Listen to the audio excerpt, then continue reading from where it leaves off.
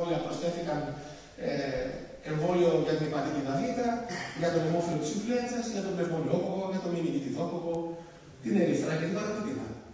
Ο τρόπος χορήγησης των εμβολίων είναι είτε από το στόμα, είτε ενδομικά, είτε υποδορίω, είτε ενδοδερμικά. Ε, η ελληνική πολιτεία έχει φροντίσει ώστε να υπάρχει εθνικό πρόγραμμα εμβολιασμών. Ε, το 2017 ανακοινώθηκε το νέο πρόγραμμα εμβολιασμών ενηλίκων, όπου περιλαμβάνει στο κίτρινο βλέπετε την γρήπη, όπου είναι κίτρινο είναι υποχρεωτικός εμβολιασμός ε, στους πολίτες ηλικίας άνω των 60 ετών.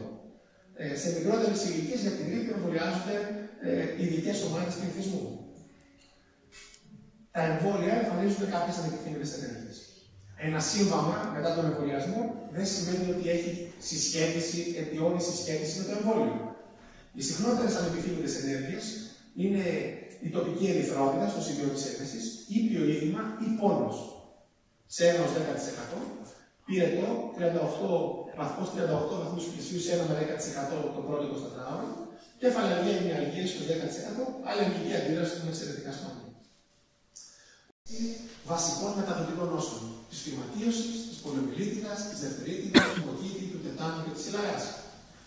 Εδώ βλέπουμε χαρακτηριστικά σε αυτή τη γραφική παράσταση την επίπτωση κρουσμάτων ηλαράς κατά το ενακτήριο έτος του εμβολιασμού το 1980, όπου αριθμούνται σε πάνω από 4 εκατομμύρια, και όταν τα εμβολιαστικά ποσοστά στον πληθυσμό φτάσαν το 80 και το 90%, βλέπουμε ότι είναι κάτω από μισό εκατομμύριο το 2008.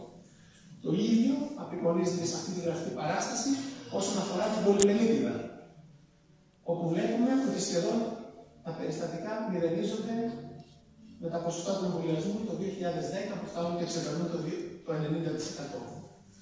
Η κοινωνία όμως εμφανίζει μικρή ανοχή σε οποιαδήποτε παρενέργεια μετά από τον εμβολιασμό, γιατί τα εμβόλια χορηγούνται σε υγιείς για την πρόληψη ασθενειών. Οι προσδοκόμενες προδιαγραφές ασφαλείας είναι υψηλότερες σε σχέση με τα φάρμακα και του Οι εθνικές ρυθμιστικές αρχές εξασφαλίζουν την ποιότητα, την ασφάλεια και την αποτελεσματικότητα των εμβολίων και των άλλων φαρμάκων. Η λειτουργία του ασφαλιστικού μας συστήματος. Όλα τα μικρόβια και τους ιού ο οργανισμό τα αναγνωρίζει σαν αντιγόνα και παράγει αντισώματα. Οπότε, όταν έρθουμε σε δεύτερη, σε δεύτερη επαφή, όπως φαίνεται στην κάτω, ε, στην κάτω γραφική παράσταση, παράγονται γρήγορα αντισώματα. Η ανοσία επιτυγχάνεται με δύο τρόπους με τη φυσική λίμωξη και με τον εμβολιασμό. Ο όρος εμβόλιο προέρχεται από το «εν» μέσα και βάλουμε, ενώ η λέξη vaccine προέρχεται από τη λατινική λέξη vaxa που σημαίνει αγελάδα. Το εμβόλιο είναι ένα βιολογικό